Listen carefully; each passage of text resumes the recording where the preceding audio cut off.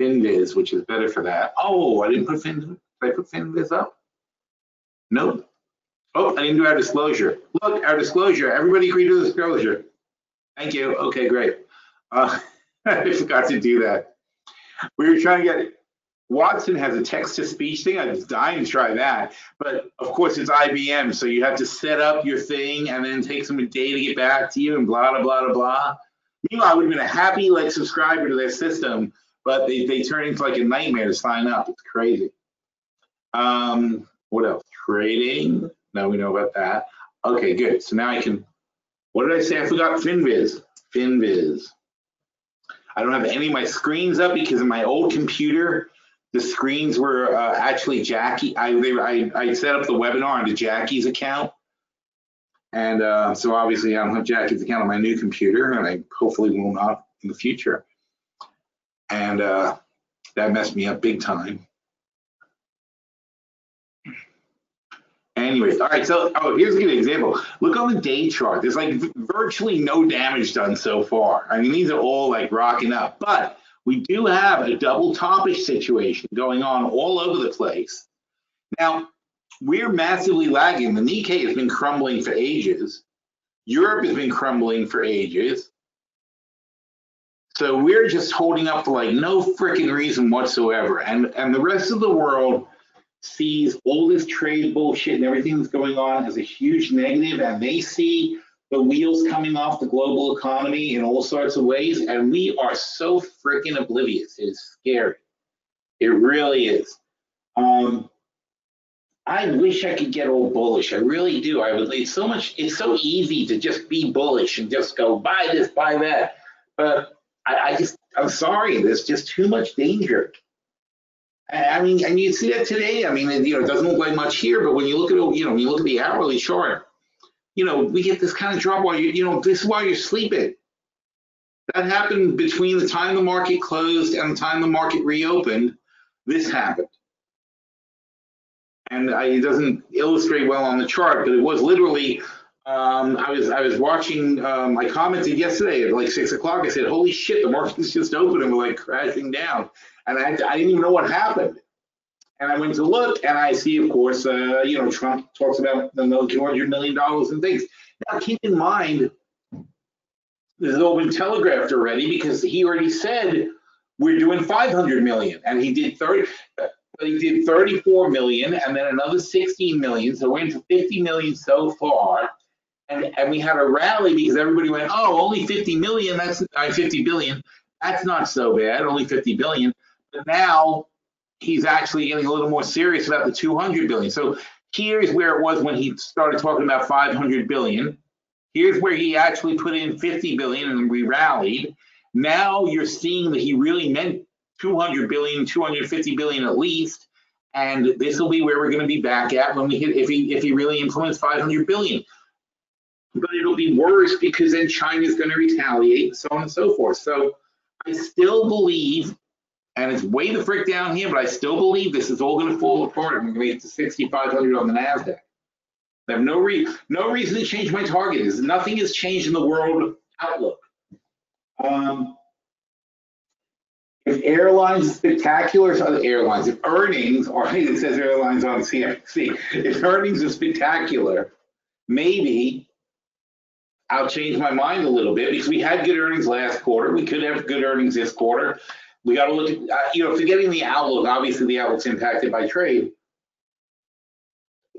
But if earnings are so good that stocks can, can get through this, then who knows? But as it stands now, I still want to be cautious. And what we should talk about is, so, so what I want to do today is talk about the cost of caution.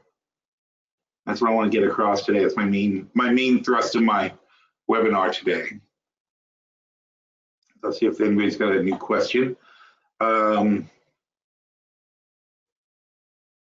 okay, Latch says, any update on HMNY, Helios Matheson, which is really Movie Pass and whatever.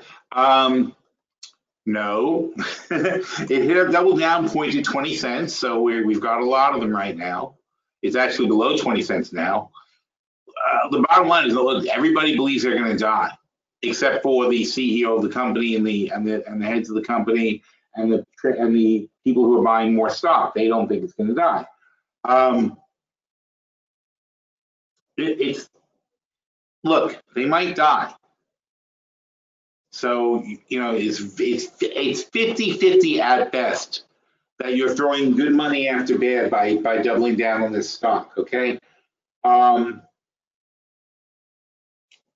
the, you know, the, the same was true with Sirius when Sirius was in huge. You know, Sirius had the same kind of trouble doing the same kind of thing. They were losing money, hand over fist, and on top of all that, they decided to pay Howard Stern fifty million dollars or something like that, or five. I'm sorry, like it was like five hundred million overall, but fifty million a year. They were paying Howard Stern, and they had to make huge guarantees to him because obviously he didn't know they weren't going to go bankrupt either. And he's like giving up his radio career and moving to Sirius and all that. So they got into this whole thing. So everybody thought they were going to be bankrupt, and we kept buying and buying and buying on the way down.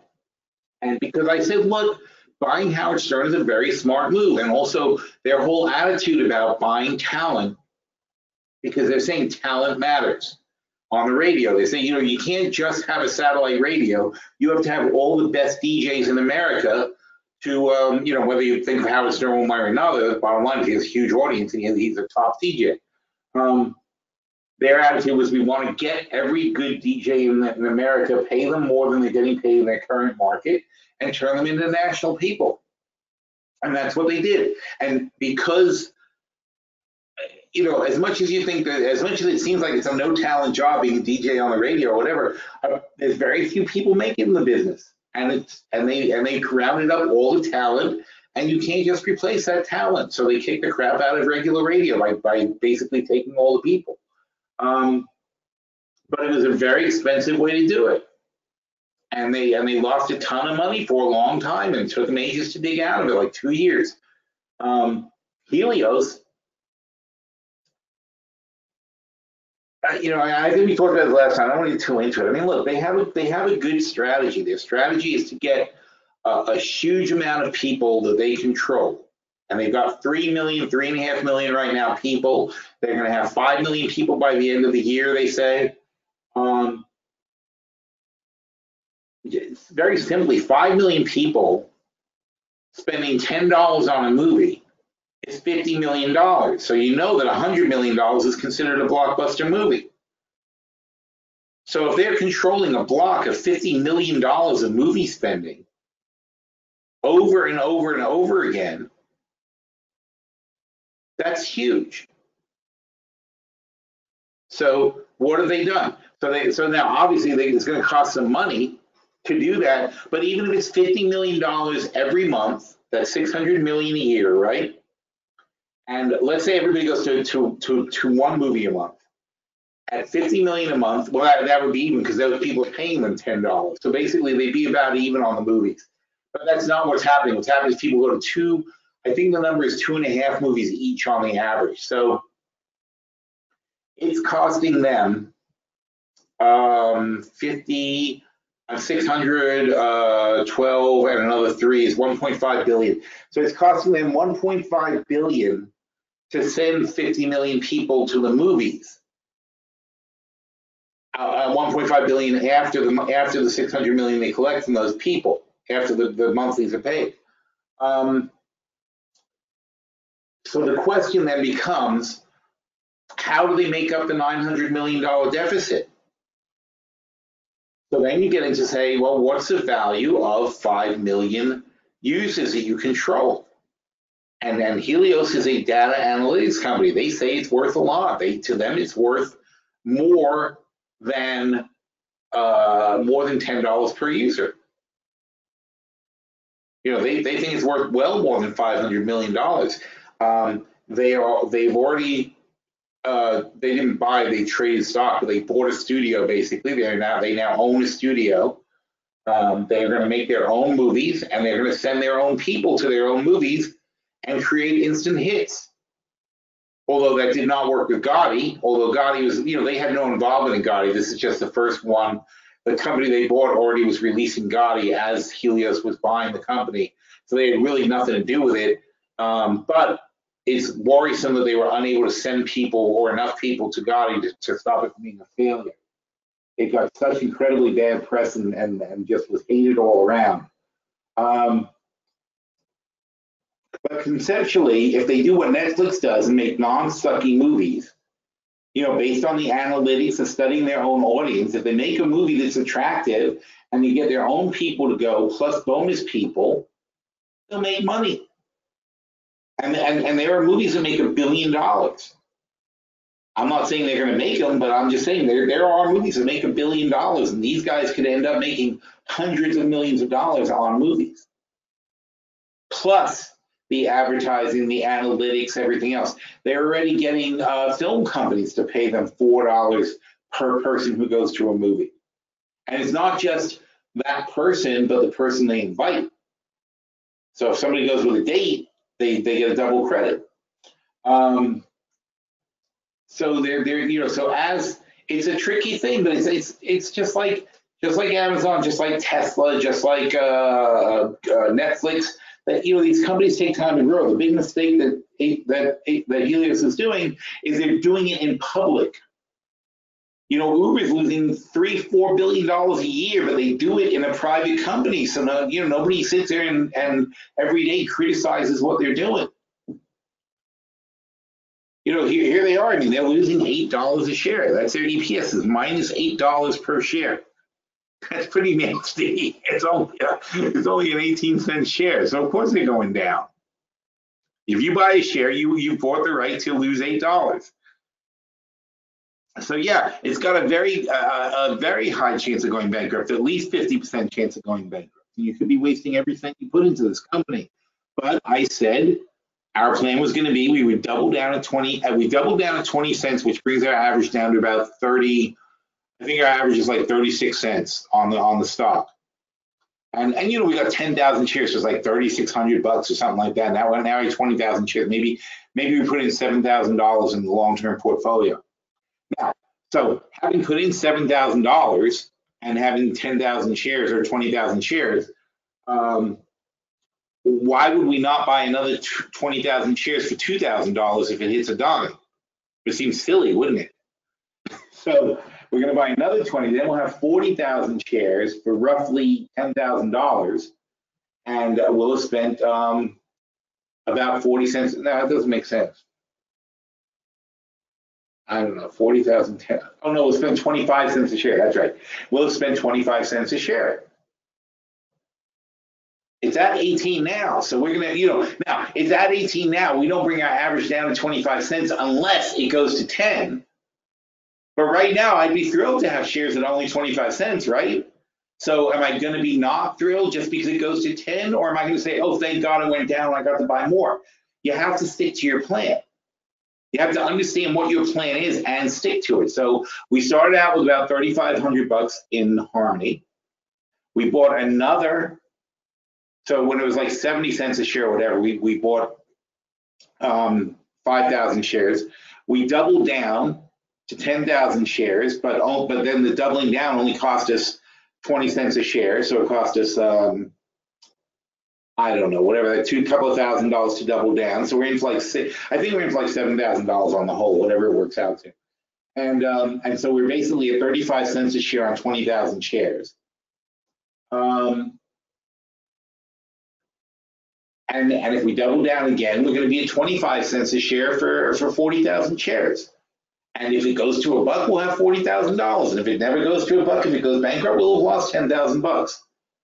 That's where it is, though. It's it's a it's a kind of a craps roll, but there is the possibility, slim as it may be, that this thing turns into a um something like Netflix. And if we look at Netflix over the really long term, Max. Oh, that's not Netflix, that's Helios.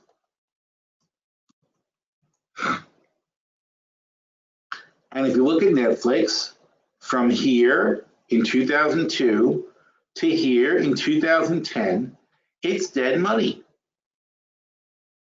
It went up, it went down, it went up, it goes down, whatever. It went up really big here and then it crashed completely, but then finally finds its footing and takes off. So and I'm not, I don't to blow smoke up anyone's ass, but I'm just saying, if I had a chance to own forty thousand shares of Netflix for ten thousand dollars, and now I have forty thousand shares at that, which is what, like sixteen million dollars, I believe, if I, if I get my math right, is that right? I have zero confidence in my math right now, Ron. Not in the mood. Um, let's try. Gotta do this. Forty thousand times four hundred. Yes, thank you. Makes me feel good.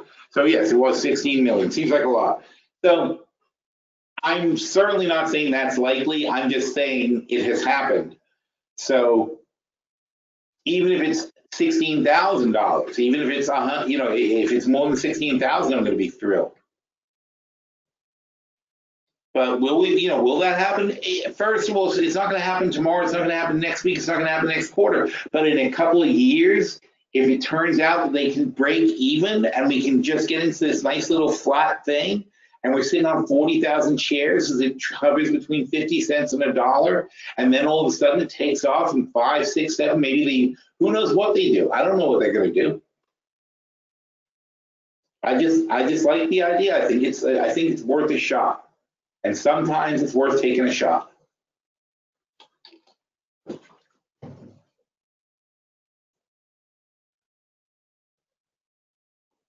Three says, uh, Phil, is being a challenge rolling SEO 15 calls to 13? Should I stay at it?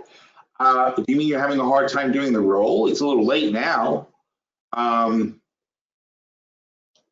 because because the, the, the, cheaper way to roll was when it was um, higher, lower. I mean, sorry, lower. Um,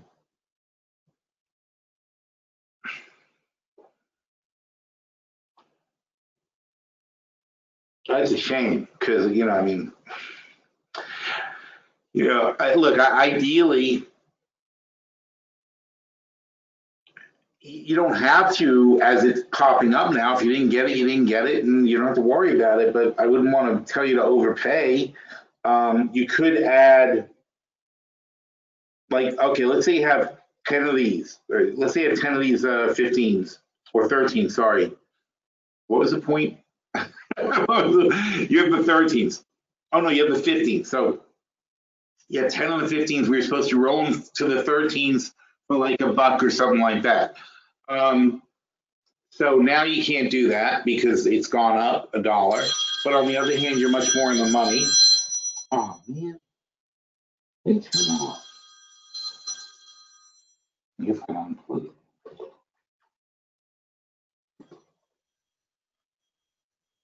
Oh. Silly me. That was my fault. All right, where were we? Oh yeah. So look, now it's going to go up. But meanwhile, you got the thirteen dollar calls. It's not killing you. It's just that it would have been nice if you would if you had added. What you could have done is instead of trying to roll it. By the way, brokers, you it's very very hard. You can put in orders that say roll this and roll that in the in the screen. You can say um, SEO. So you can you can have the calls. I don't know what they were. They July. It's way you definitely can't roll July now. Um, but you can put in an order that says uh, if you have an existing position, you could say roll it from here to here, and you can put in a price for the net of the roll. And as you can see now, the 15s are. Why is this? Show me all the strikes. God's sakes. Oh, that's way too many. Show me 14 strikes. All right. The 15s are a dollar are a dollar 10, I would say, and the 13s are 280 now. So it would cost it would cost um a dollar 70 to roll. That'd be ridiculous. Why would you pay that? Um, the idea would have been though that when it was cheaper, you could have added some 13s and put a very tight stop on the 15s and then as they both got higher, if they go the way you want them to go, then you could start selling some 15s at good prices. All right, and I don't know if it was July or what, but whatever it was. I mean, but the bottom line is that there's, you know, it if you wait for the broker to fill you, they're not going to fill you. The only way the broker is going to fill you is if they get a good price themselves internally because they want to make a nickel, and and, and that's their attitude. When you when you put in the spread order, they're not going to fill you unless they're unless their internal market guys can make a nickel off the off the filling. Why would they? Why do they? Why would they fill you for free? They got plenty of people who are willing to pay dumb prices for everything else. And that is how brokers work. They fill the dumbest orders first because if they if they can scrape money off your account, they do.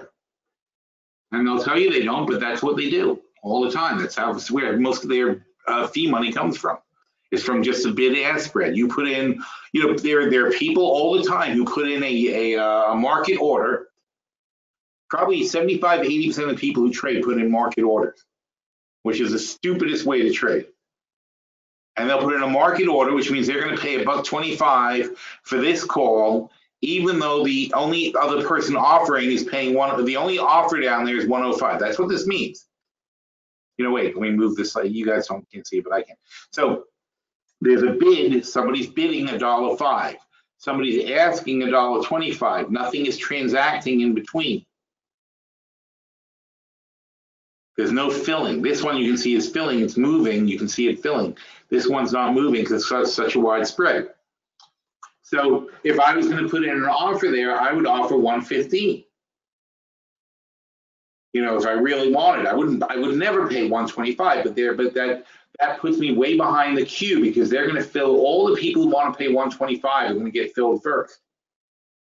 And only if somebody who's asking to sell the stock is going to sell the option is going to capitulate is am I going to get my fill? But I would rather wait because I know that things go up and they go down, they go up and they go down constantly. So I'll just wait for a down for a swing that goes in my way. If you're if you're asking to fill a spread, they both have to go your way at the same time. The chance of that happening is very, very slim. So I always break up my orders and fill them in pieces. It's very, very hard to get a good fill otherwise.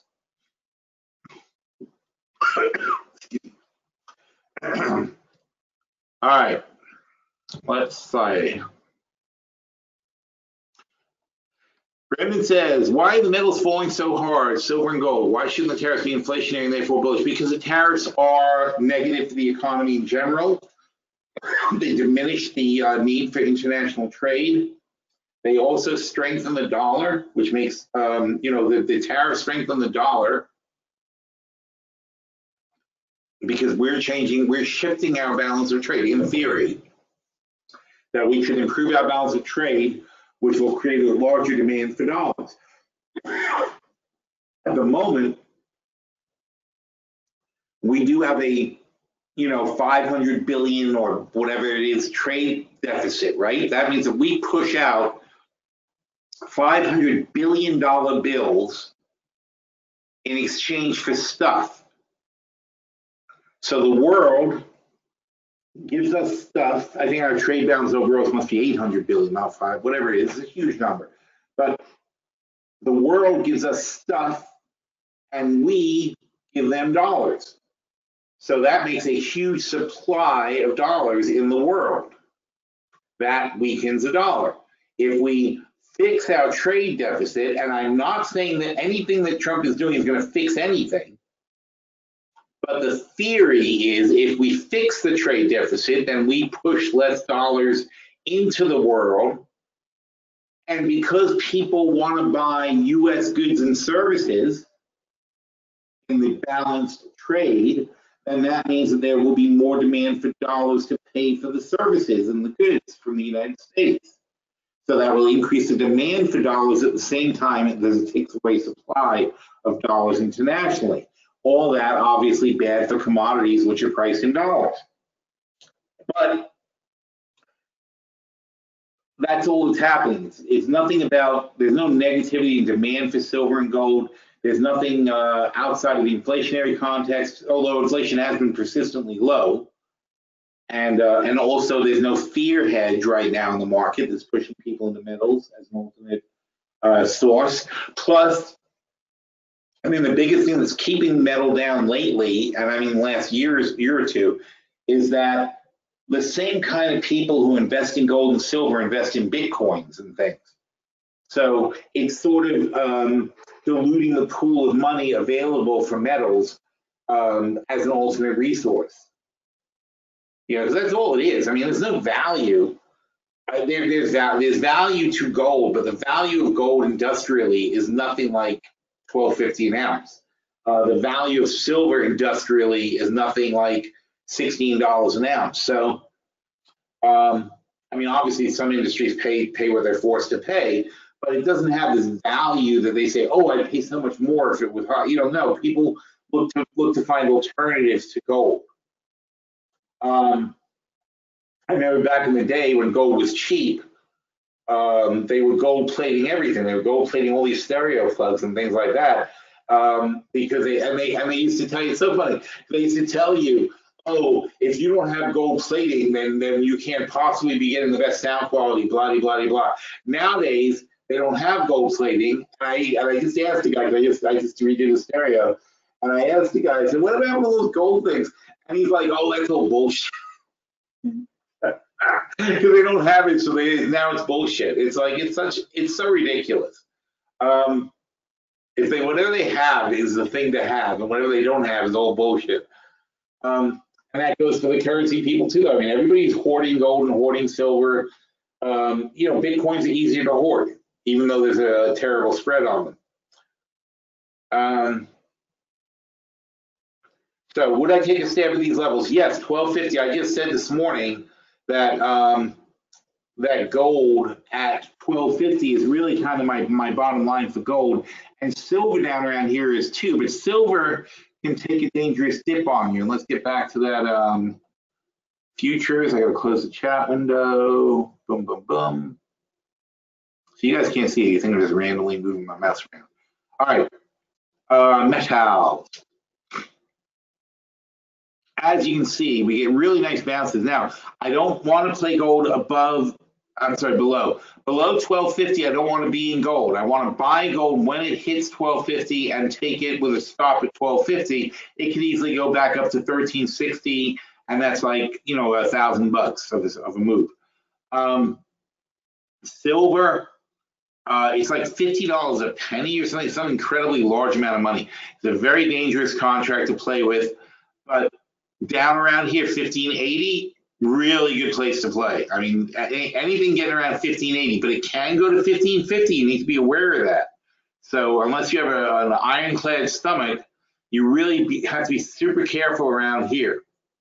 So if you're going to get in here, you either have to have very tight stops or you have to say, oh, I'll be very happy to double down at 15. If it goes below 15, I'll double down again.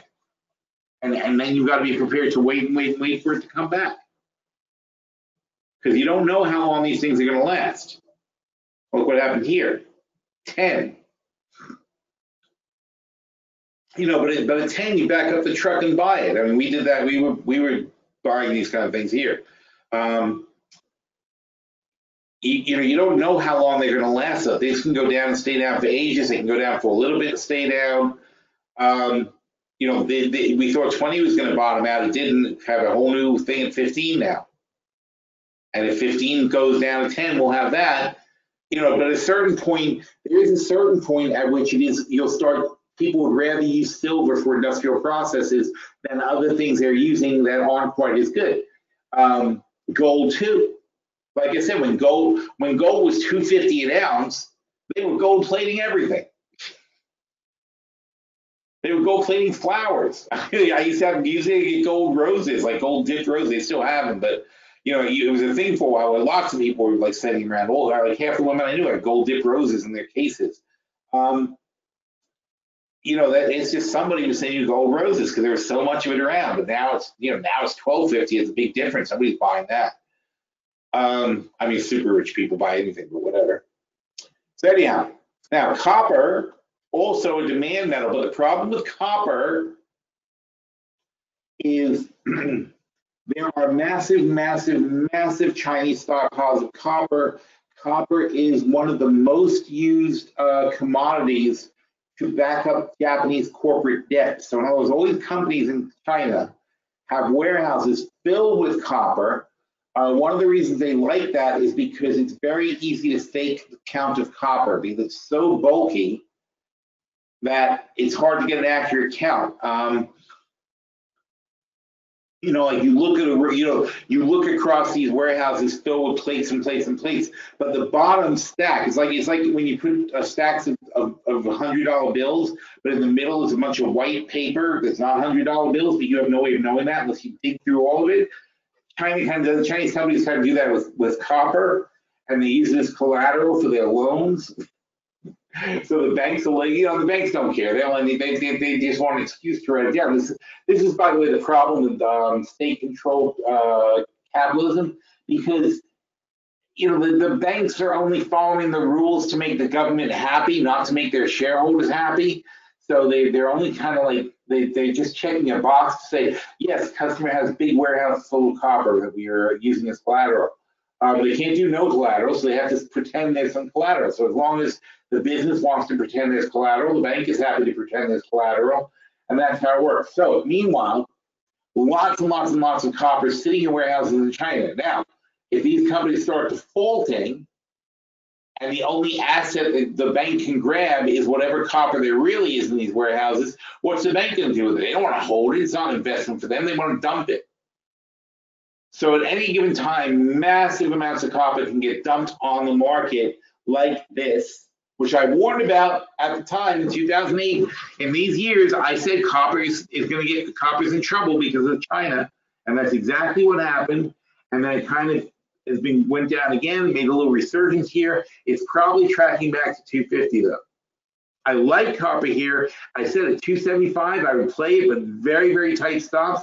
You don't know where the bottom's going to be, but you'd like to be there when it when it hits because copper pays big. But you've got to be super tight with stuff. You cannot afford to ride this out. This is too much money. So you don't want to be stuck in this. At 250, you try it again with tight stops. At 225, you try it again with tight stops. At $2, I start to have conviction. $2 is too cheap. But it's hard to have conviction over that.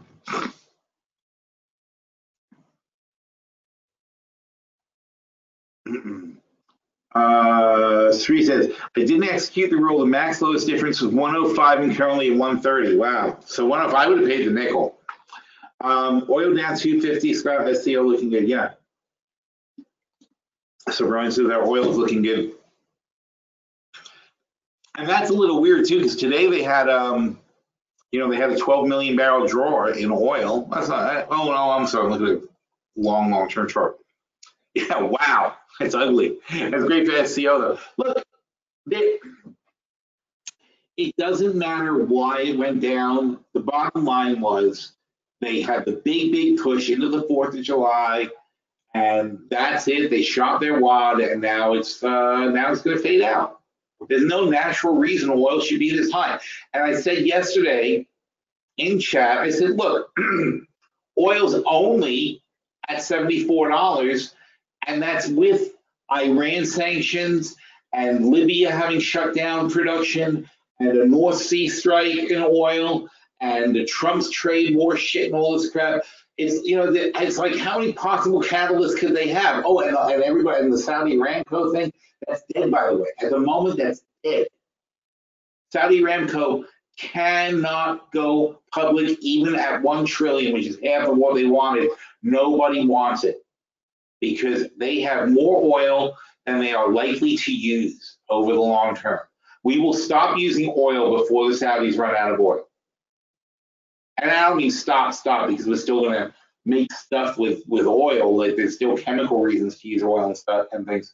But as far as as an energy source, it'll be, it, you know, the Saudis have probably 50, 60 years of oil in the ground, 40 something years of oil in the ground. But at the most, you know, if you're at the biggest uh, whatever you call it, the biggest demand projection, the Saudis still have 40, oh, well over 40 years of oil in the ground. Realistically, demand is declining. They probably have 60 years of oil in the ground at the current demand curve down, but that is going to accelerate. And uh, we will stop using oil as soon as there's a major advance in battery technology and electricity, and then fusion is going to completely kill it and we will have fusion probably uh, 20, what years is? 20, yeah, I'd say 10 years, 12 years at the outside, 2030, we'll have fusion.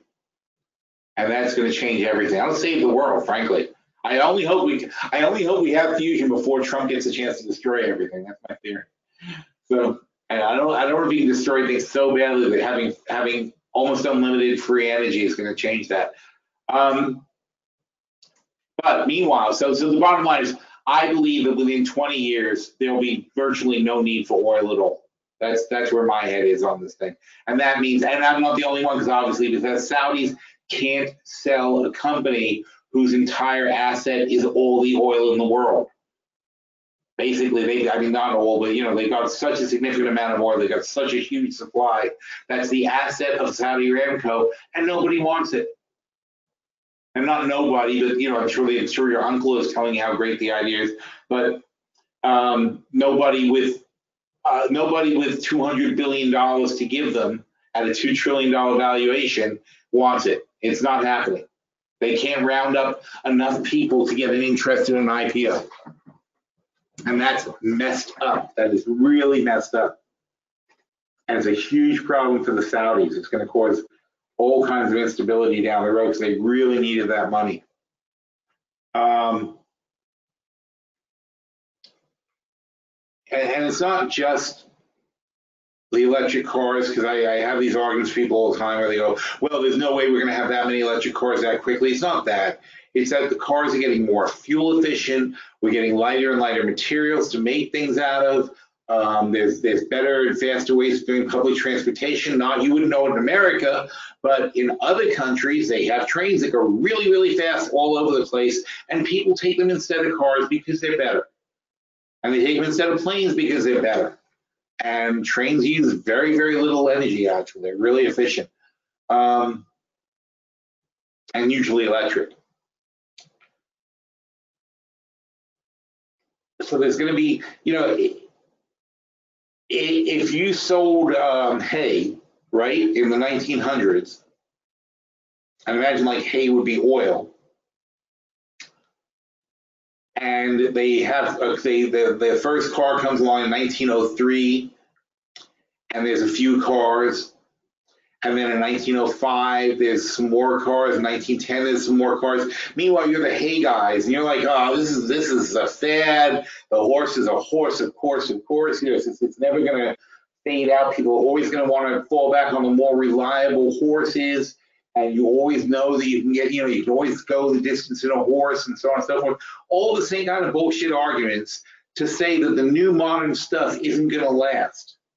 And they just keep making their hay and they stay in the hay business and they consolidate the hay business and they and whatever. But the bottom line is in 1920, how many people are left? This, this 17 years after the first car, how many people didn't have a car in 1920? How many people are still riding horses?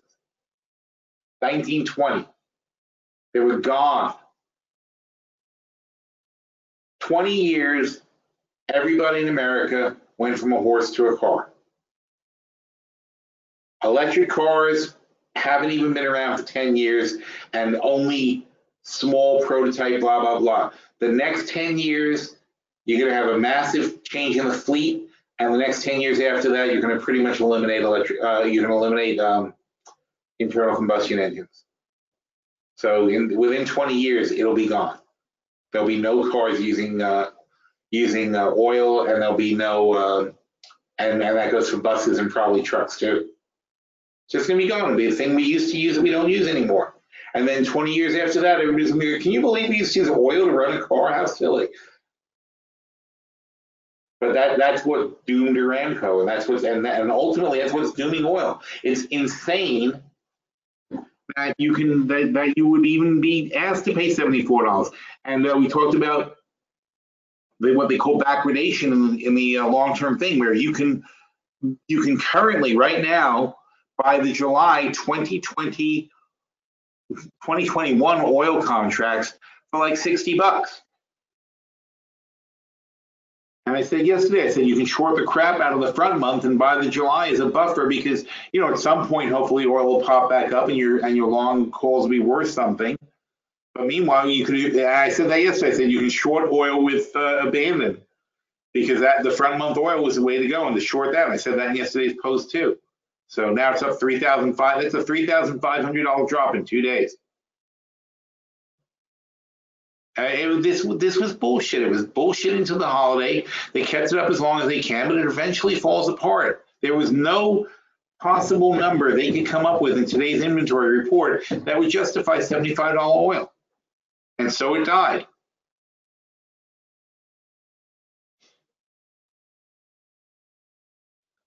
Uh, okay, that's that question. Three says September. Oh, I see September things. Oh, that's that's an easy roll. Um, what do you think of JJ off the coffee? Oh, that's a new uh, coffee thingy. I, look, the last one was a disaster, so I don't think anything of the new one. Um, and there's no way we know how bad the decay is until we watch it for a while.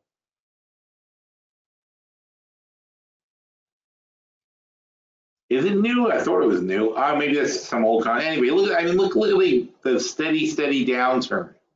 And coffee doesn't go down that much. So, so you still have some seriously bad decay.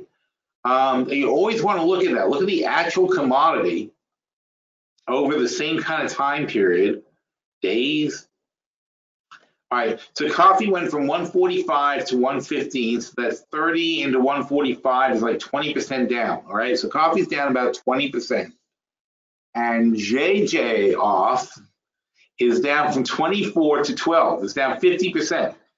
So it's losing money or losing value 50, uh, two and a half times faster than the underlying commodity. So do I like it? No, it's horrible. That's horrible. Look, you can do this yourself. It's very easy to calculate. From here, oh, and that's and actually the time frame is a lot lower. From August of uh, last year, 145 to now 150. Let's say 115, so 30, and we'll call that 20 percent. So that's your basis is 20% from last August. Then you go here and you say, okay, where were we last August? Oh, we weren't that bad. It was 19 and you're down to 13. So that's six into 19. So it's not, not that terrible. It's um about 30%. So 20%, 30%, so it's 50% worse decay on this. So the longer you hold it, the faster it's going to go down. That's all there is to it. It's not going to go up faster. It's only going to go down faster. So, so it's not a good way to bet. It's only, I mean, look, it's the only reason you're betting this is because you can't bet futures. If you can bet futures, you shouldn't be touching that thing. Oh, speaking of futures, look at these indexes. Um, trade. Everybody sank back down. I, I'm, it's not a good day to play. There's too much rumors and crap driving the market. Trump could talk at any time. You never know what's going on right now. So that's bad. Which brings me to my point of the day, which is looking at the top trade review. so I did the top trade review this morning because I, I want to, you know, I knew we were doing the webinar, so I wanted to talk about it. Um, we, we, we got to talk more about the basics. So let's talk about the basics, okay? These are the top trades. They go out uh, up right here. Anybody who's a member can click on that and see the top trade, the top trades. They look like this. Cisco web extension is disabled. I didn't know what that is. Why are you doing this to me? WebEx. Well, actually, can you, are you guys still on? Is everything good? I'm worried that that's, um, somebody say hello. One person, anybody. Just so I know you're there. Oh.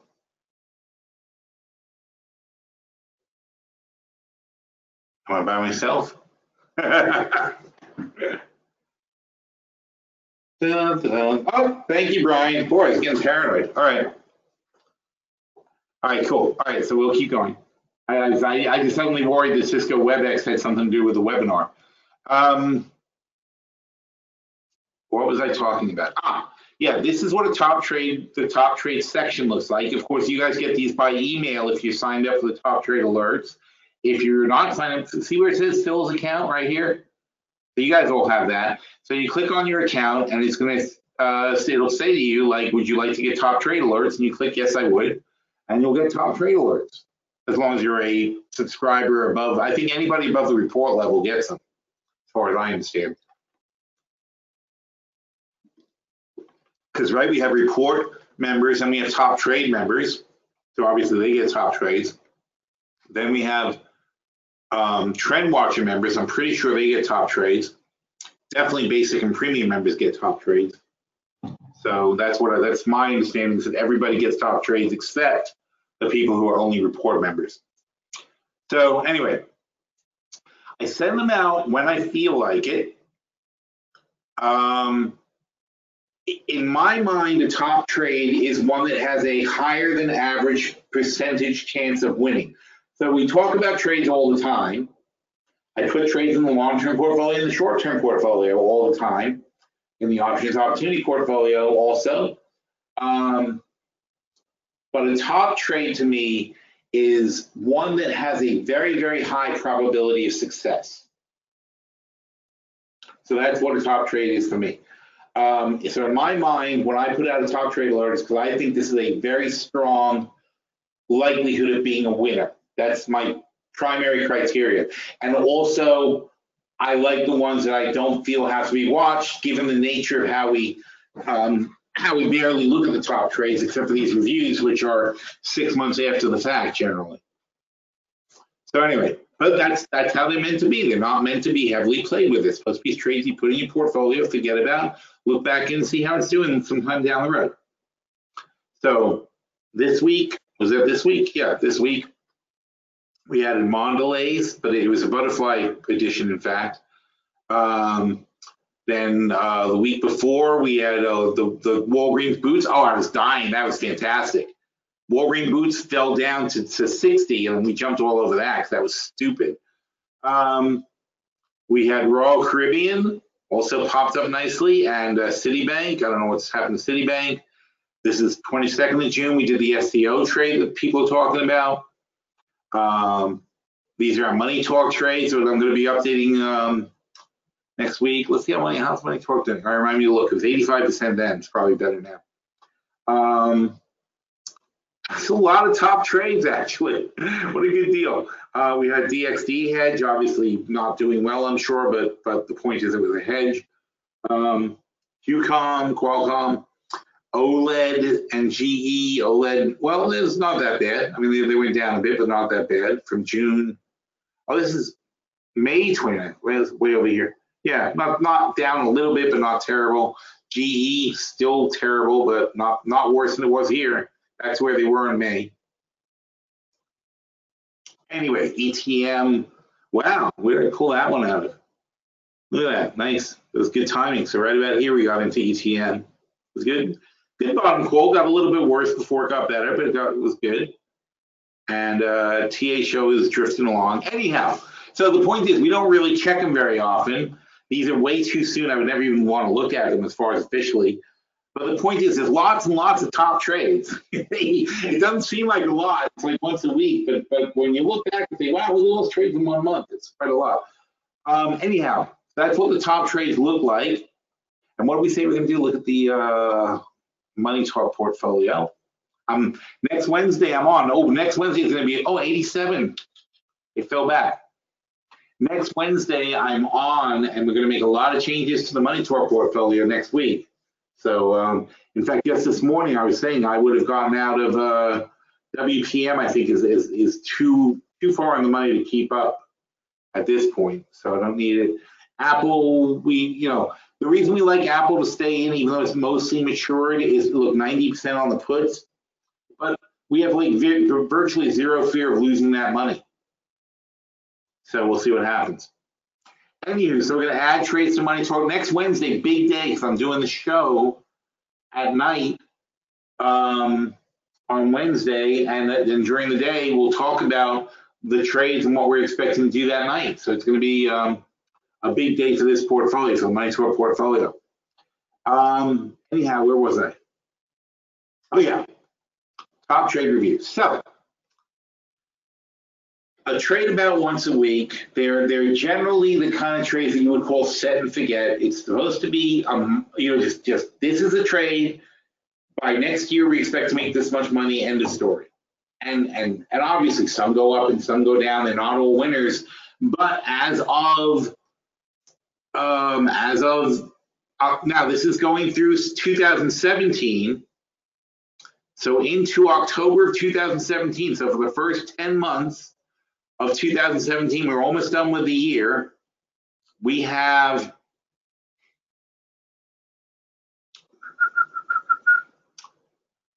we had 40 winners and six losers, 86.9% winning streak through for the first 10 months of the year. And just the September October trades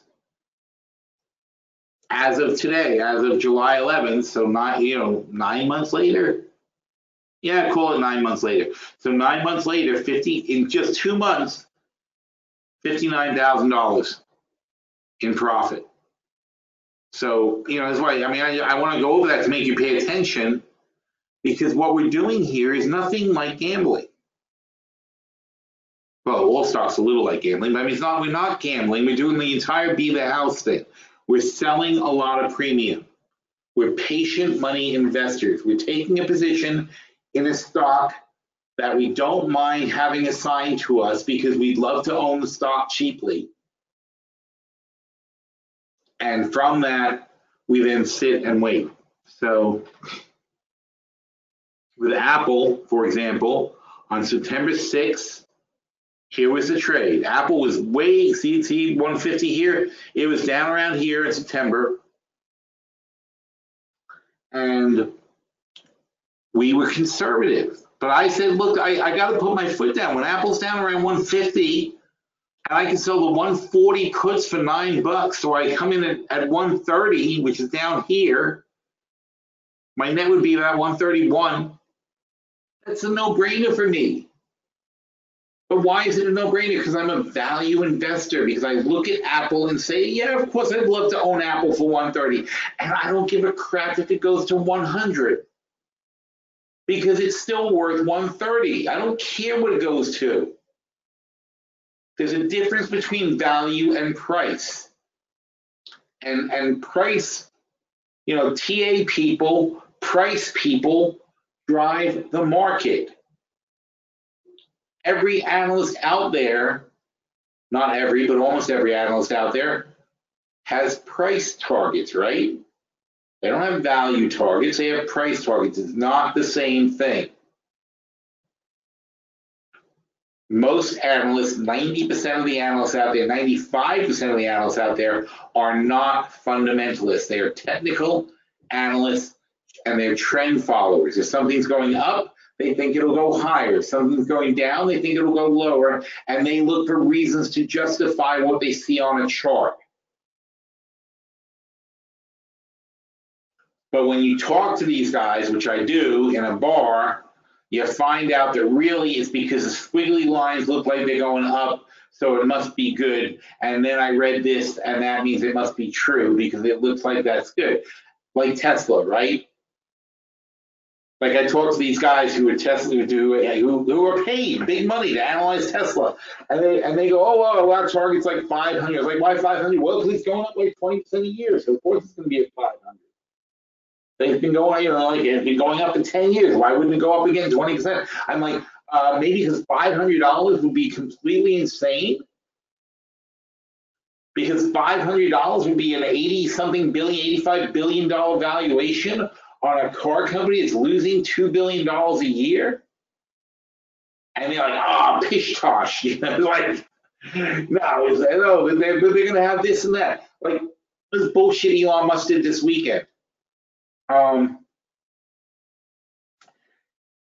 you know, the Thai kids were trapped in a cave.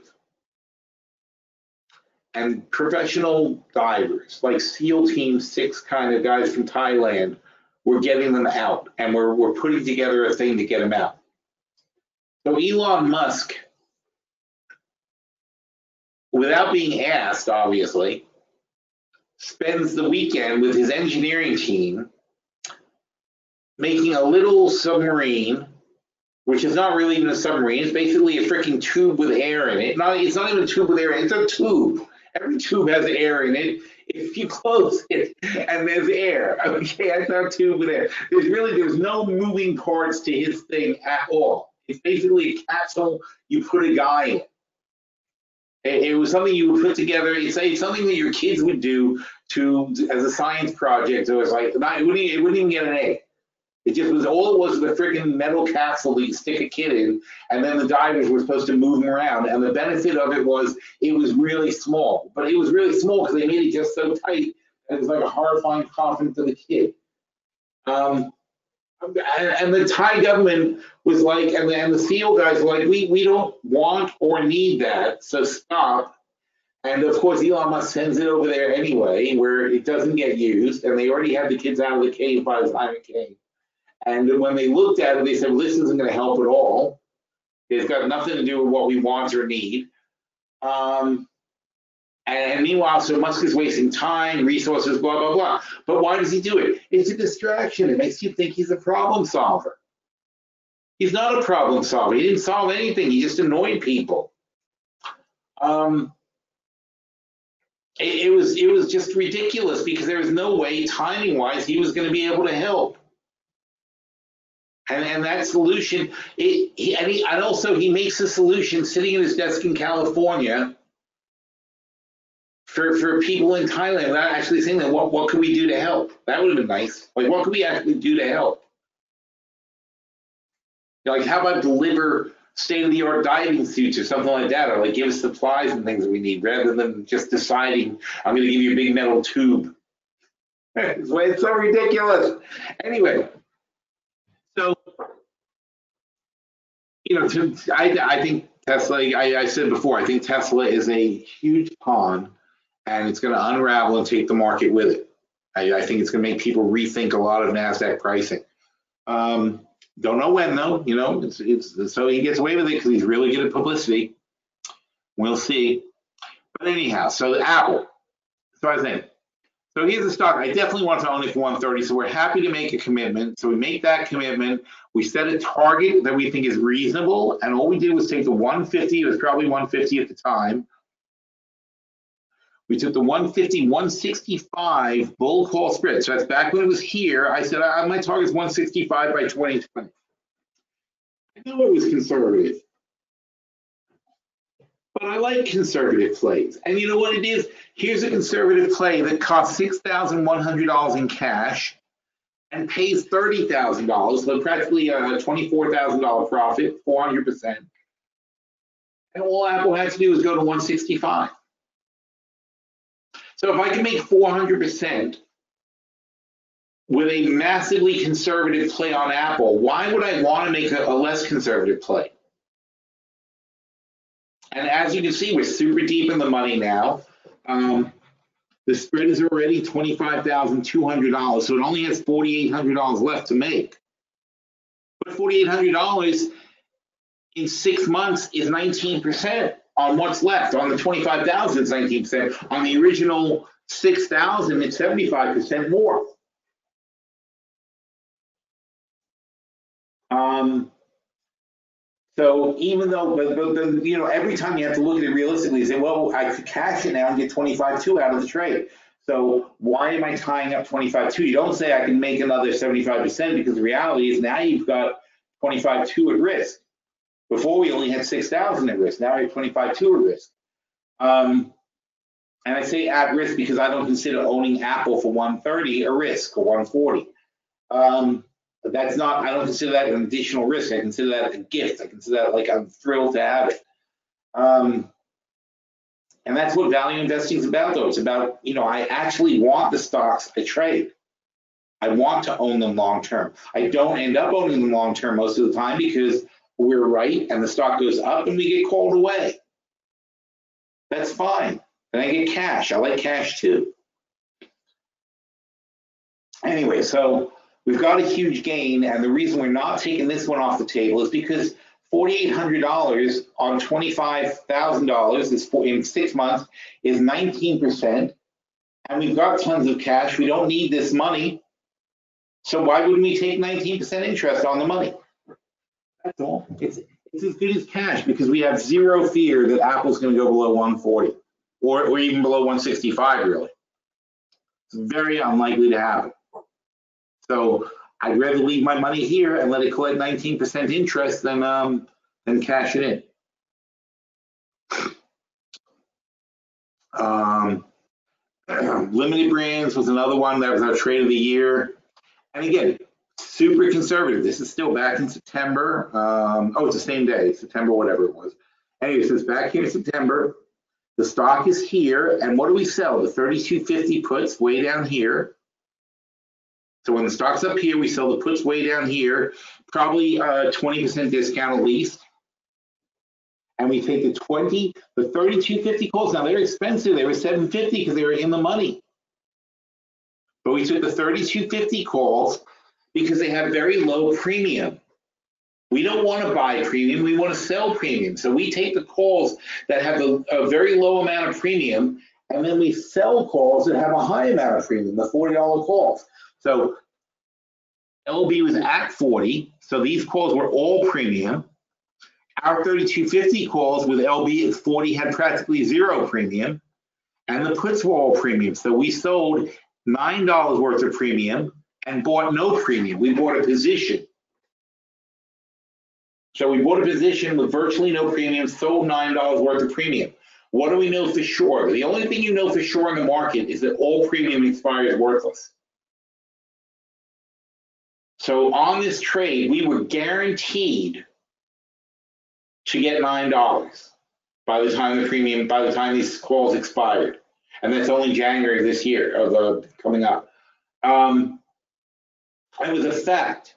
And how much was that? That's 17 plus 9 is 26, so almost $27,000 that we were guaranteed to collect. That means that since we're guaranteed to collect 27,000, our net on the 30 is like $3,000. So what we really did is we bought the 3250 calls for $3,000, which is not even a dollar per contract. So what did we do? We went long on LB at 33.50, even when the stock was at 40. I want to be very clear about that. The stock was at 40 and we went long at 33.50. All it has to do is not fall and we make money. Even if it does fall 10% to 36, we still make money and not not a little money, quite a lot of money. Because our break even is 33.50. And above that, we make at 36, we make about $12,000. That's ridiculous. The stock drops 10% and we make $12,000. As it stands now, our spread is up $8,000, but we're going to get the full 26,000 we expect. There's no reason not to expect it because all we have to do is hit 40, hit 40 by the end of the year, and we think that's very likely, unless of course our market collapses. Um, but you know, given that if that doesn't happen, then then this should be a great trade. But this is what I mean by set and forget. We did not. I didn't buy Netflix for four hundred dollars. I didn't buy Tesla for three sixty. I'm not chasing anything high in the channel and I'm making 400% returns. So why would I even consider chasing after high flying momentum stocks with high PEs? Where's my advantage? Why why do you do you know why do you guys do it? I, I again I, I, said that down here somewhere in there I wrote I don't understand why I, I have so much trouble getting people to do this stuff. I don't you know it's, it's it's not it's not sexy it's boring it's so boring that this is the first time we've reviewed this in nine months nine months ago we made this trade it went way the frick up and way the frick down and now it's over here and it doesn't matter we could have actively traded it we could have done something with it and we probably and we did in our other portfolios where we we're more active this isn't a portfolio. These are just trade ideas and what they were meant to set and forget. And the thing I'm trying to emphasize in these top trade reviews is that you don't have to trade constantly. Just pick good stocks and leave them alone. This is how Warren Buffett became a billionaire, just doing this. And it's not hard. Oh, and you know what else is funny about it? Like like September or whatever was a um, obviously it was a down dip on the market at the time. That's the other thing. You wait for a good dip. That's why there's four trades in one day. You wait for a nice dip and then you make your trades. So IMAX, same thing. Okay, in, this is in September, so IMAX is around 23 bucks, and we sell the 10% out of the money puts, and we buy the 18 calls and sell the 22 calls. That's an in the money spread. So our trade idea in IMAX is that it's not going to fall more than a buck or two. That's not bullish, but it doesn't have to be bullish because it makes 540% if IMAX simply doesn't go down. Those are the kind of trades I like. And they got and they should be the kind of trades you like. That's what your portfolio should be full of. You know, I mean, a lot, a lot of times, I mean, people come to me in the chat room and they and they propose trades. And there's nothing. And you know, look, it's great proposing the trades, but my main correction for them is always to say, you know what? Instead of trying to spend zero, because that's the, the tendency of an options trader when they're learning is to say, okay, hey, how can I spend zero money and make money? But it's not about what you spend, it's about your likelihood of winning. And like I said, these are 86% successful. They have a high likelihood of winning. And if you're 86% successful by laying by, by by spending the money to take a good position, that beats the crap out of being 40% successful, even 60% successful by spending no money.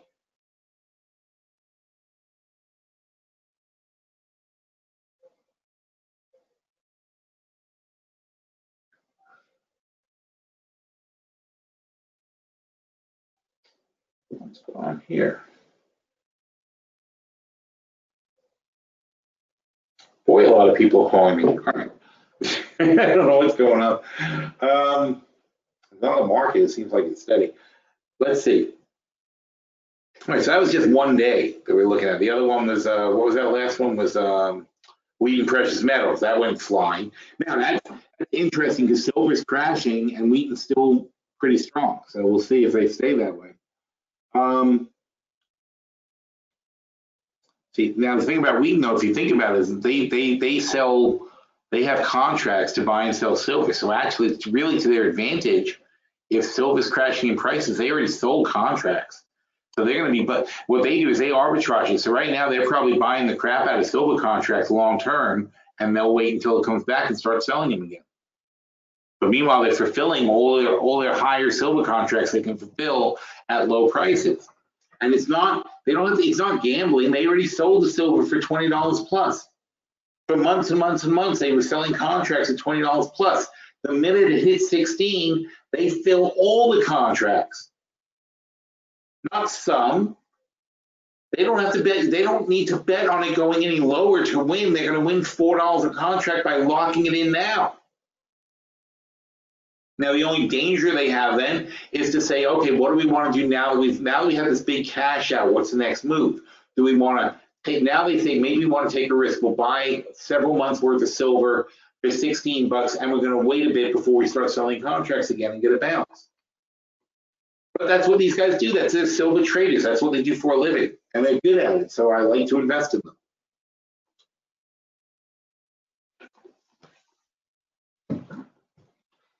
Then we have this SEO trade that lost $8,000. They don't know when. That's your risk.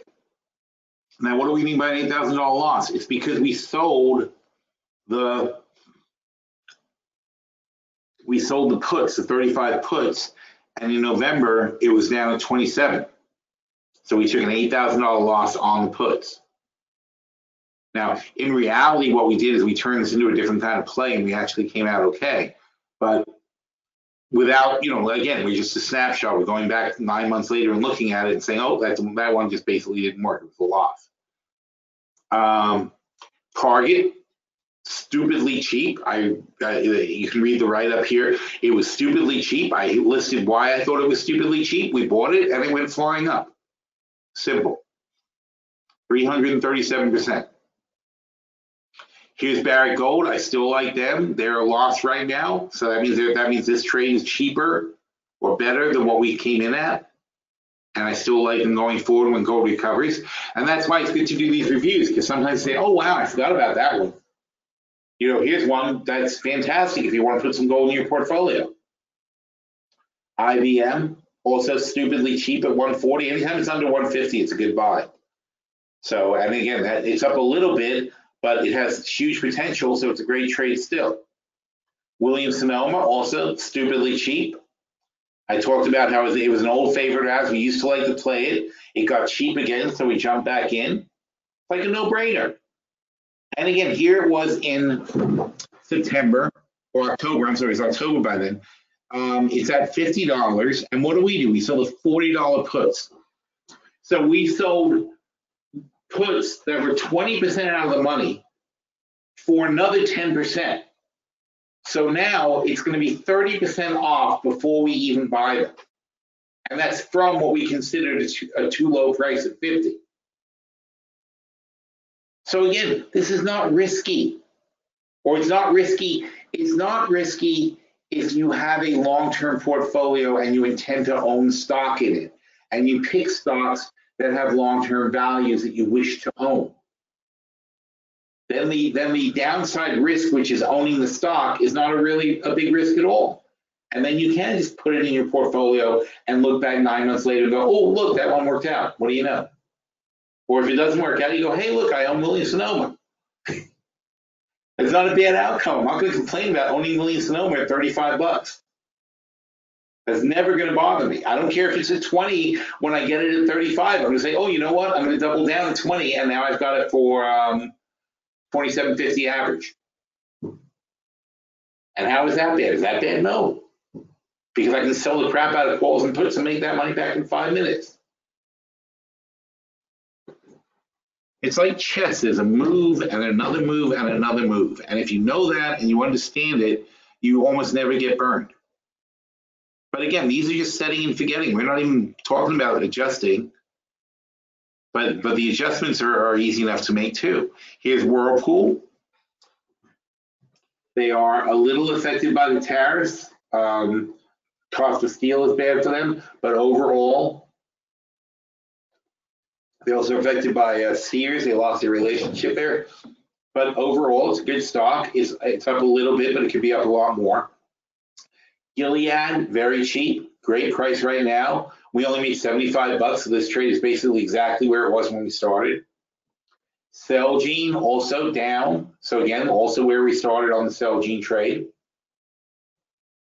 And by the way, that's what we count as not working out. We trade down down 400 bucks, and that counts as a, that counts as one of our losses. Although up 75 counts as a win, so I guess it's the same thing. But point point being that you know it's not it's not critical, and the bottom line is in the two months we made 50 fifty-nine thousand dollars. Not on risky trades. We're not going for broke here. Um, generally, we're making position sizes that are that are that are suitable for hundred thousand dollar portfolios.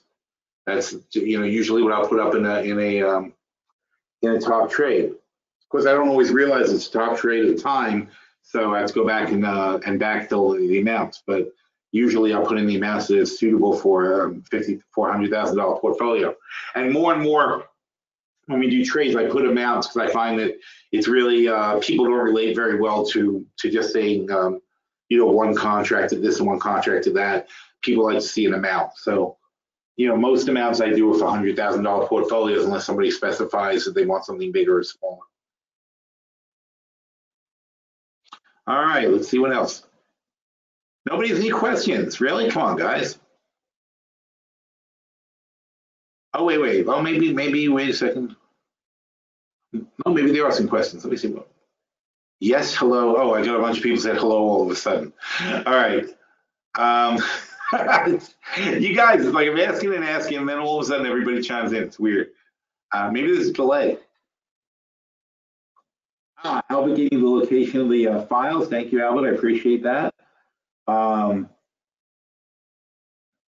please fill on GE. Can we shoot for some income out of our, out, wait, can we shoot for some income out of our position? Um, if you mean the GE that's in, um, hang on, I gotta make this small again. It's a long-term portfolio, I'm it's probably in both, uh, probably in the OOP too. So long-term portfolio is at 32% of the moment. And the GE position there is la la la la la. There it is. Well, um, it's pretty aggressive. We have third, we have 50 of the calls and 18 of the puts. Look, being long-term portfolio, frankly, I, I I'm not gonna want to sell anything in 14. It's too low. Um, I haven't given up on them yet. So it's uh, to me, it's too low in the channel. I mean, obviously the channel doesn't look very healthy. Um, too low in the channel. Well, it, it depends on what you call a channel, right? I, I need a bigger chart. Um, the problem is that here, here's the problem that a lot of people have when you look at a chart, though, is the GE that you're looking at now is not the same GE that was $27 or 30 bucks. That's not what GE is anymore. They sold off divisions. They don't have the stuff that made them a $30 company. So they're not coming back to 30. That's not happening. There's no 30, there's no 30 here. Um, how do I explain that? Um, like let's say Apple sold off their iPhone division and they don't make phones anymore. Still a computer company, still Apple, but they don't make those phones. That's half their profits. Probably maybe more than half their profits, who knows? But let's say it's half their profits. So Apple stock will drop 50%. And they could say well, we're going in a different direction. We're focusing more on services and more on the app stuff and more on Apple Pay, and we're going to turn ourselves into this and that. And you can buy that and you can say, okay, great. But the bottom line is now instead of having um, $50 billion in, in profit a year, they got 20, they got 25 billion in profit a year. And maybe, and you've got to be realistic about what you can expect them to do from $25 billion. That's what happened to GE. They spun off uh, several divisions got cash, but they also have this huge underfunded pension fund. So pretty much all the cash they get from selling divisions is sucked up by the pension fund. Um, oh, excuse me. So anyway, so the bottom line is that this, this GE that survives isn't the same GE that was selling off divisions and making all that money back here. So they're not likely to make that much money next time. I do think that ultimately 18 to 20 is probably the right the right range for that, and our trades reflect that. I think I think this is way too low. I think when they get back to 15, if they fail it, I'll be willing to sell some calls. So I'm hoping we get to 1750 before we have to start selling calls. But certainly, I think 14 is just silly. I think all you can do is buy trouble for yourself. Um, is that it's not worth it. Also, they don't pay enough. If we look at the um, the OOP, only only 11% right now. It's not very exciting. Um, the GE and the OOP is, yeah, it's the same deal. I mean, we have the 20 of the short puts, which we're going to have to eventually roll and double down anyway. And we have the, uh, when 2021 comes out, we're going to roll them. And we have the 13 calls, and we're just sitting on them. We're hoping they come back in price. Um, if we cover the 13 calls, by selling 14 calls on GE. I mean, you can't just snap your fingers and make money because you feel like it. You have to have a realistic path to doing it. So let's say we sell the September 14 calls for 80 cents. Or you're capping your gain at 14, where you are now. So if you don't think GE is going to go more than 80 cents higher between now and September, why be in it at all? Then we should be folding the trade. It's a waste of money. And if you sell the 15s, you only get 35, 35 cents. It's like it's just not worth selling.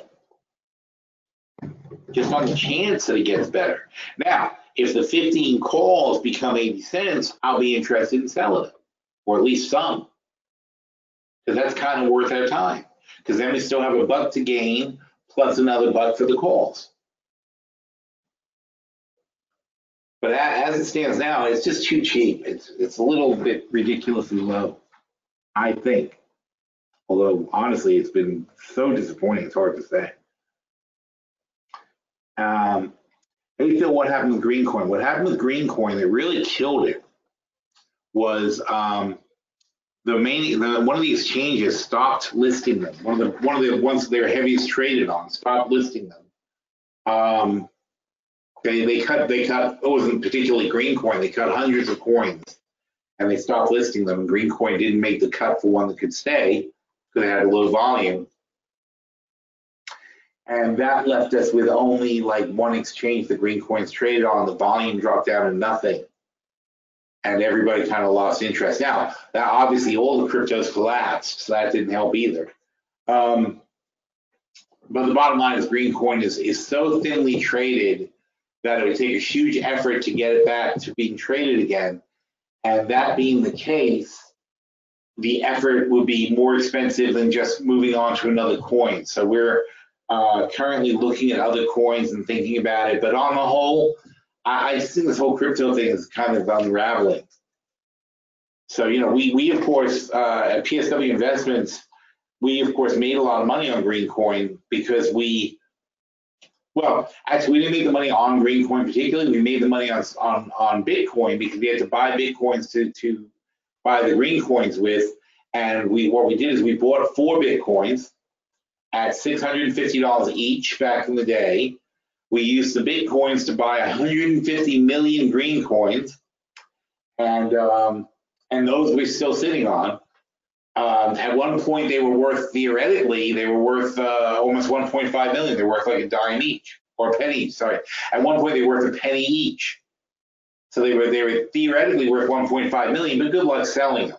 Greg tried to sell some, and there just wasn't enough demand to actually sell them. Um, so they said a penny, but but you know you can only sell like a tiny tiny amount for a penny, and then then the price would start dropping rapidly. And so we, we just said, well, we'll hold on and see if anything good happens. Meanwhile, though, we only used two Bitcoins to buy the green coins. Our total investment in, in Bitcoins was 2,800 bucks. And while we held the Bitcoins, they went up to $20,000. Uh, we sold ours for about 17.5 each, so we collected $35,000 on the green coins. So that's where our profit came from, not from the, I'm sorry, on the Bitcoins, we made about $35,000. On the green coin, we made nothing. Uh, but but overall, we are plus 35,000 for the for the for the for our troubles.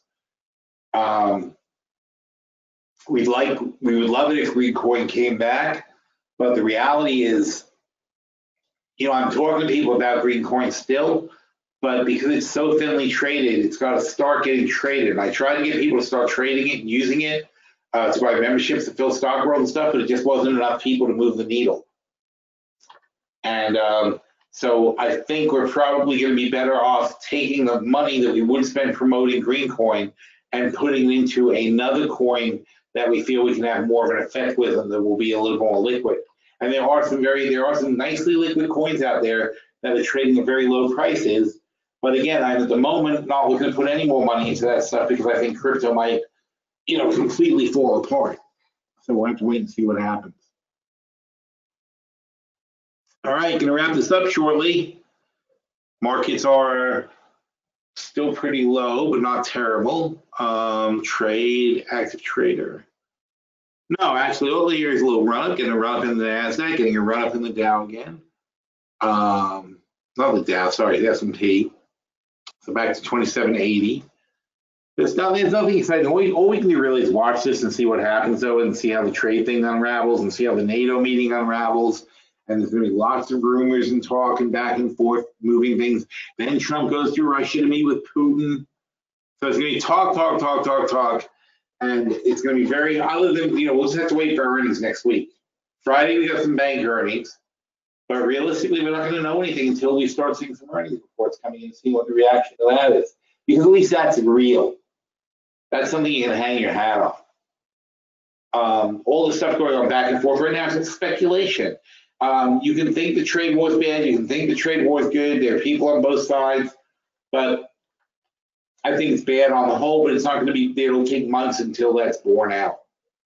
It's a long time to realize what a mistake it was to do something. All right. Last couple of questions, and that will be lot for today. And there are no other questions. Okay, fantastic. I love that. Um, I hope I got my point across. So it's like there, you know, there are so many good value trades that we can make all the time. I mean, all the time. There are 40, I forget, 46 trades or something like that in 10 months. That's four trades a month. In the uh, those are just the top trades. That's that's probably a tenth of what we put out. Um, so but even if you just did that, that's more that's more trades than any rational person is going to put in a portfolio.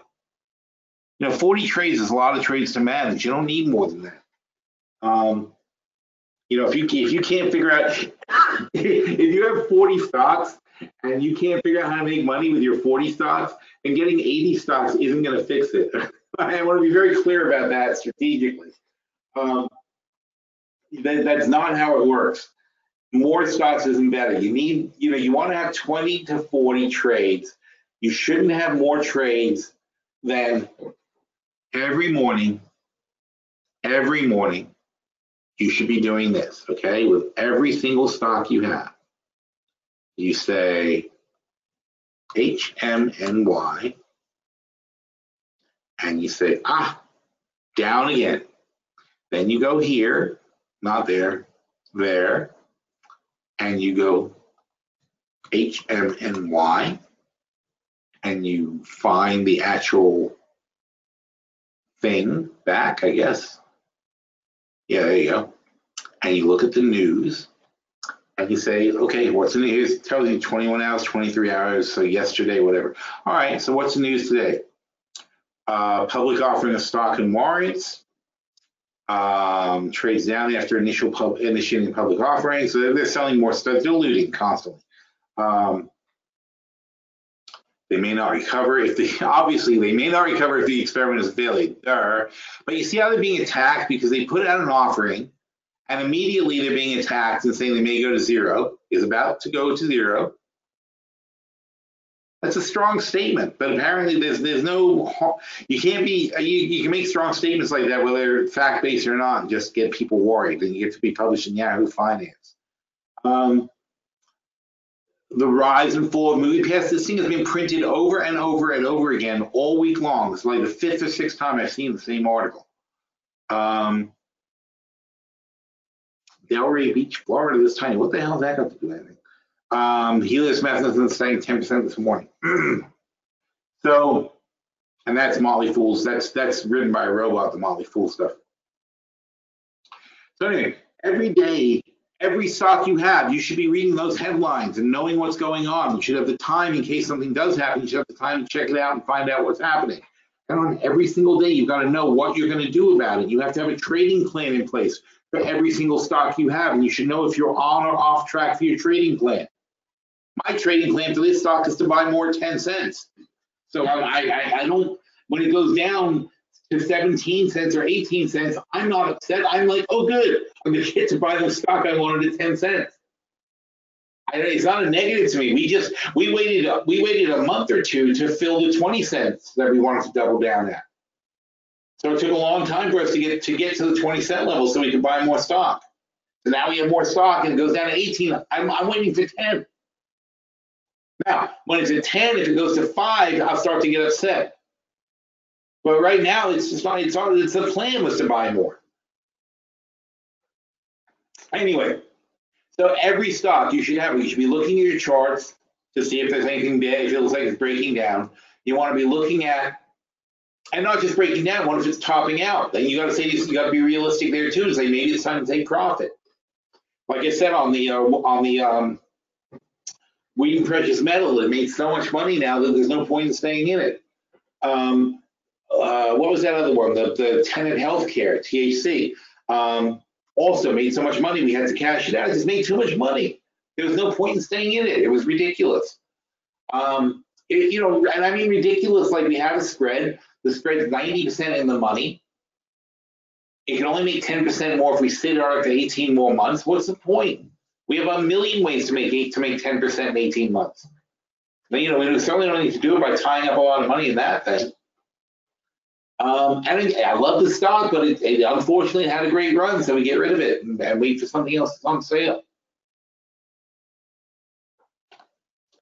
But if you have more stocks and you have time every day to read the news and go over the stock and look at and check your position and make sure you're on track. And if you don't have an organized trading plan for every single stock, like if you go to our portfolio reviews, I don't do it every time, but every once in a while because it's such a it takes me forever. Um, in our portfolio reviews, which are always under the virtual portfolio tab, and um, in the in the review, I tend to say, hmm. Well, not this one. All right, sorry. What was that one?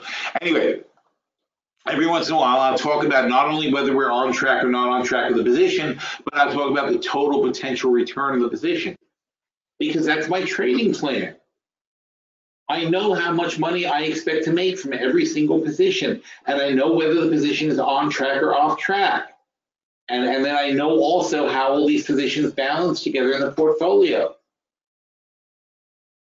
So, you know, some, sometimes some will make money, sometimes others will make money. They shouldn't all make money at the same time. You shouldn't be all pushed into the same direction at once because you can go the other direction at once just as fast. Some things you make money, other things don't. When Tenet Healthcare goes to goes through high level, I cash it out. Wheaton Precious Metal, I cash it out. Then I have to look at the whole portfolio and think about how the balance of my portfolio has now been affected. So I got rid of a healthcare company, I got rid of a, of a metal company.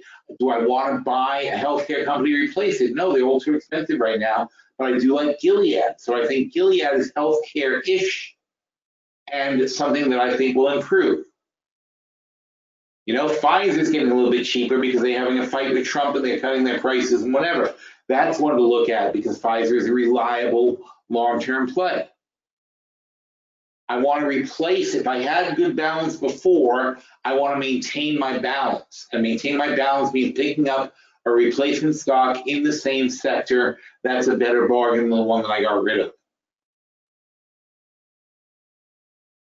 But again, 20 to 40 positions is a lot to manage. 40 is certainly a lot to manage. And my our our four our, our five member portfolios have like uh well over 100 positions, maybe maybe just way too many. Anyways, like 100. So I'm killing myself managing those. Um, it's too many, and I you know even if you're an expert trader, you don't want to have that much. It's like you want to have 20 to 40 positions, manage that, and I'm not counting short puts. Short puts are just positions we want to take if they get cheaper. So in the long-term portfolio,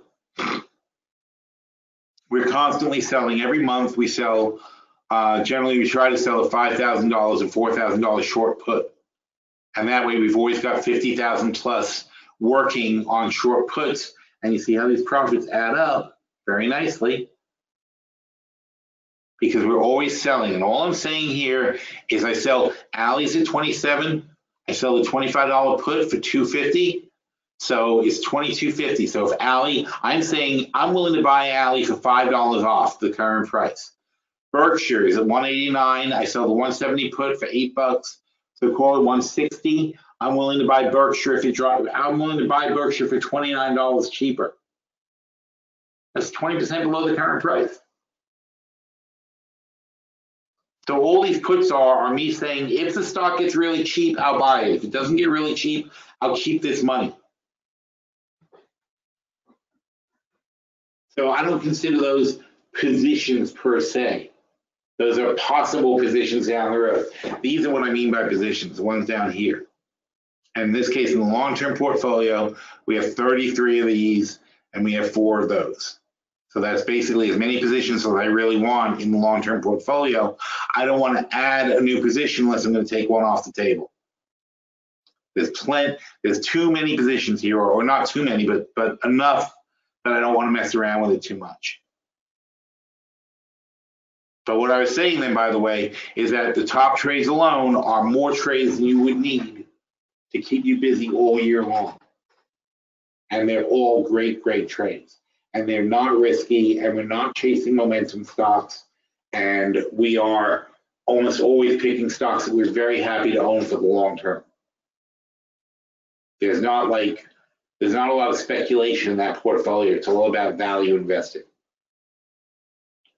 And, and I think that, you know, if you want to find something new in this market, that's a good thing to do is look for these value plays and put your cash into those. Don't put your cash into chasing the fads because that's where the market bubble can pop and kill you. All right. Any last second questions? No, there's not. Fantastic. So we're going to end this thing pretty much right on time. Thanks for coming, everybody. We'll do it again next week. All right. Take care.